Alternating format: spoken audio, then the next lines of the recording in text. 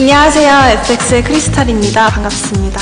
주위 사람들이 테라가 굉장히 핫한 게임이라고 해서 관심이 생겼는데 알고 보니까 한국뿐만 아니라 세계적으로 천만 명이 넘는 사람들이 하는 게임이더라고요. 바라카족이 굉장히 매력적이라고 생각합니다. 잘 지켜줄 것 같고 또 근데 얼굴을 보면은 순한 얼굴을 하고 있거든요.